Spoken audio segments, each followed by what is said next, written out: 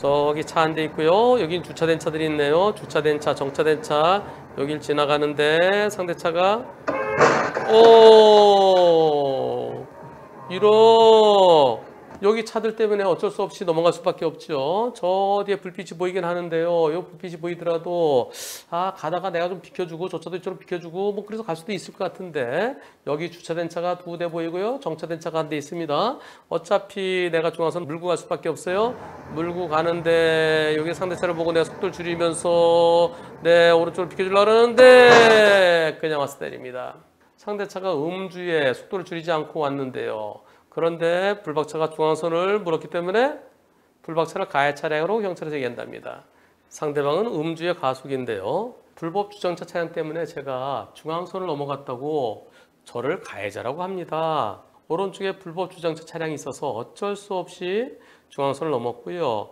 거의 다 지나갈 무렵에 상대 차량이 보여서 오른쪽으로 비켜주려고 핸들을 틀었는데요. 근데 상대가 그냥 와서 들이박았습니다.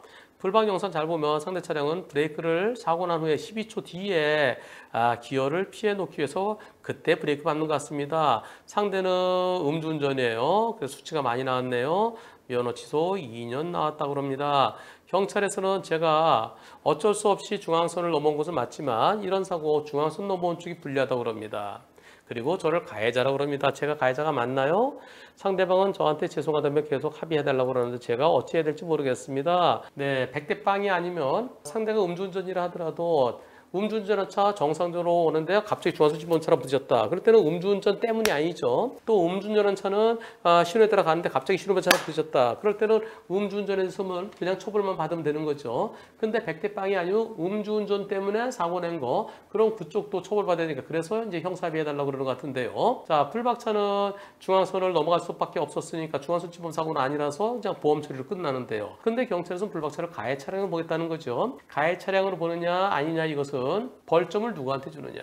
근데 상대는 어차피 면허 취소니까 별 의미가 없고요. 근데 불박차도 잘못했으면은 사고의 결과에 대해서 나 빼놓고 다친 사람에 대한 벌점은 가해 차량에게 주죠. 51대 49. 그래서 51한테 몰빵을 주는 겁니다. 불박차가 더 잘못했다고 그런다는데요. 여러분들은 누가 더 잘못했다 생각하십니까? 불박차가 중화선 물어서 상대 진행 방향을 방해했으니까 불박차 가해 차량이다. 아니 상대가 술 먹고 저렇게 빨리 오면 어떻게 뻔히 넘어오는 거 봤잖아. 그럼 속도 줄였어야지. 그냥 와서 들이받네. 상대가 더 잘못이야. 상대 100% 잘못이야. 투표 시작.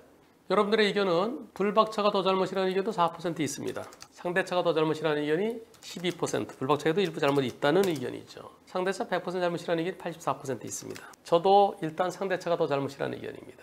다만 블박차에도 잘못이 있는지 없는지를 살펴보겠습니다. 자 여기서 마지막에 불빛 안 보여요. 여기 들어가려고 하는데 이때쯤 보이겠죠. 이럴 때 뒤로 백 하나요? 백, 백, 백, 백, 백, 백. 그랬다가 또 다시 가려면 또 불빛 보이면은, 어, 또 백, 백, 백, 백, 백, 백, 백, 백. 계속 가다가 백, 가다가 백. 아니, 그, 그게 아니라 여기서요. 저 차가 이쪽에는 공간이 많아요. 이쪽 좀 비켜주고, 내가 이쪽 좀 비켜주고, 그럼 되죠. 그런데 저 차가 그냥 오네요. 나는 멈춥니다. 서서히 오른쪽으로 좀 비켜주면서. 근데, 저도 상대차 100%일 가능성이 상당히 있어 보입니다. 뻔히 불박차 들어오면서 불빛이 불박차 라이트 켰나요? 킨 거 같네요. 여기, 여기, 여기 뭔가 비치는 게 있네요. 예. 불박차 라이트를 켰으면 저 차 뻔히 보이는 거죠.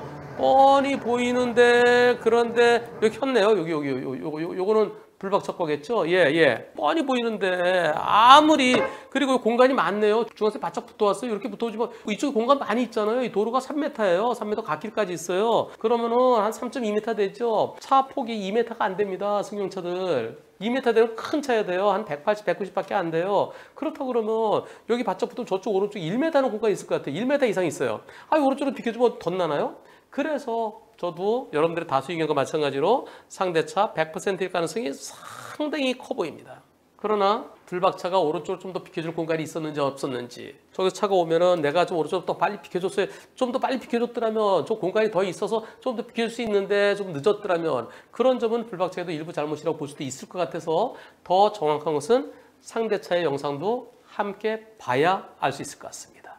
적어도 불박차가 가해 차량에서는 안 되겠다는 의견은 여러분들의 96% 저도 역시 상대차 잘못이 더 커야 옳겠다는 의견입니다 Thank you.